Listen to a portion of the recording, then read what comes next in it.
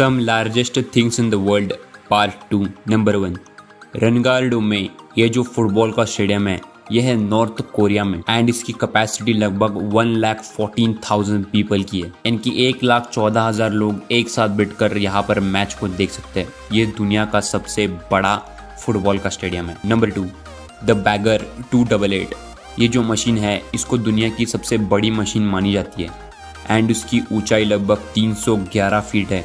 And लंबाई 705 feet.